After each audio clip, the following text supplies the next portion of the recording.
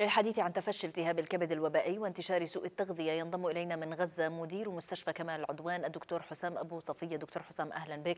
دكتور حسام نتحدث عن أبعاد هذه الحالة الصحية سواء بتأثيراتها على الأفراد وكذلك مجتمعيا خاصة عندما نتحدث عن الكبد الوبائي. حياكم الله وبارك الله فيكم على يعني دائما المملكة لها بصمة جيدة في تسليط الضوء على ما يحصل في غزة وخاصة على المنظومه الصحية. فشكرا لكم ولقناتكم الموقرة على يعني صراحة على توصيل ما يحصل بفعل. واجبنا بالتأكيد. شكرا لك. الله يسعدك. يعني بما يحصل الآن موضوع الكبد الوبائي أختي الفاضل الآن هناك فعلا تكدس الحالات. هناك توافد عدد كبير يوميا إلى مستشفى كمال عدوان وخاصة الأطفال وخاصة الأطفال دون سن الثمان سنوات. هناك أعداد تاتي من مناطق اللواء، مناطق اللواء انت تعلمون جيدا هناك لا طعام ولا ماء جيد. نعم. وازدحام المواطنين طبعا هذا يؤدي إلى تفشي العدوى والعدوى تنتقل بسرعة بين الطفل والآخر وخاصة إذا كان هناك يعني غير يعني لا تهوية سليمة ولا طعام سليم ولا ولا استخدام ولا خصوصية لكل مريض في هذا في ذات المكان. صراحة إحنا فقدنا حتى بعض الأطفال اللي دخلوا في يعني في التهاب كبد حاد ثم في قصور في عمل الكبد وللأسف فقدنا أكثر من أربعة أطفال بسبب الكبد الوبائي. يعني إحنا في في السابق كنا نرى يعني كل مثلا خمس شهور كنا نرى حالة واحدة، اليوم نرى يوميا يوميا من خمس إلى عشر حالات كبد وبائي. وهذا ان يدل على إنه تفشي هذا المرض في مناطق اللواء وفي ظل العجز وفي ظل الشح اللي موجود في مستشفى كمال عدوان لا نستطيع ان نوفر خصوصية لهؤلاء المرضى، يعني هؤلاء المرضى يحتاجون إلى غرفة عزل أو غرفة خاصة للتعامل، يحتاجون إلى محاليل خاصة، يحتاجون إلى اغذيه خاصة، يحتاجون إلى راحة خاصة، وللأسف يعني نحن في الوضع الحالي لا نستطيع أن نوفر أبسط الإمكانيات لمتابعة ومعالجة الحالات هذه. صراحة الأمر صعب وهناك يعني تفشي واضح جدا ولا نعلم صراحة الأيام القادمة إن لم يكن فعلا هناك اسعاف لهذا الموقف أتوقع انه هناك يعني سيكون المزيد والمزيد من هذه الإصابات لأنه علاج الكبد الوبائي هو أول شيء هو عزل ومن ثم راحة ومن ثم طعام سليم ومن ثم ماء سليم لكن للاسف الشديد كل هذه الظروف لا تتوفر وبالتالي نحن نعاني من هذا الأمر صراحة. نعم. عندما نتحدث عن المرض بحد ذاته دكتور حسام وخاصة الكبد الوبائي تفضلت وشرحت عن التبعات خاصة الخطورة في انتشاره وسرعة انتشاره كذلك. اليوم دكتور حسام إذا كان لك أن تطلعنا على المراحل التي يمر فيها المريض وخاصة الأطفال منهم وصولا إلى مرحلة حادة من الإصابة؟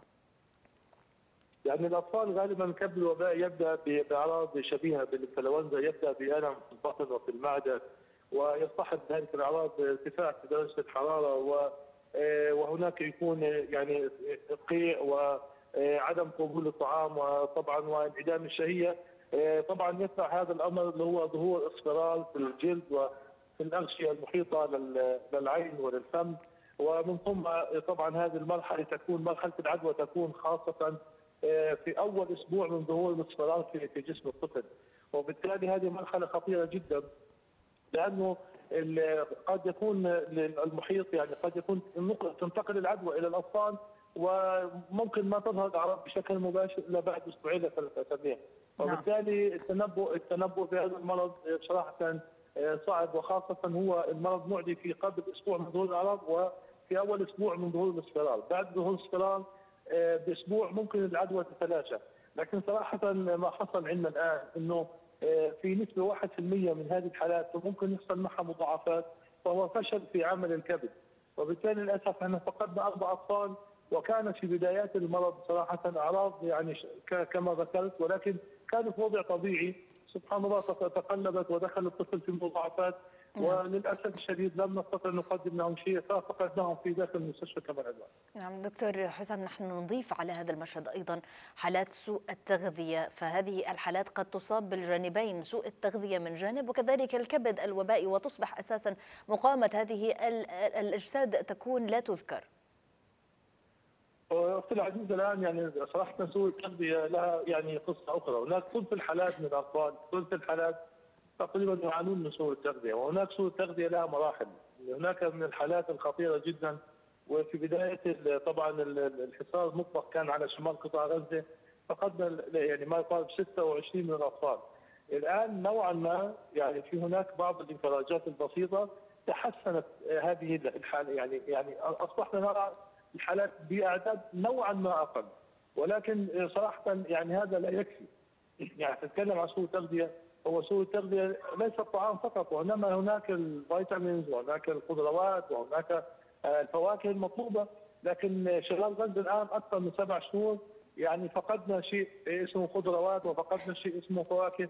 وكنا نتعامل بنظام الشربات وبنظام الأكلات السريعة اللي هي كانت تيجي من خلال الجمعيات والمؤسسات المساعدة.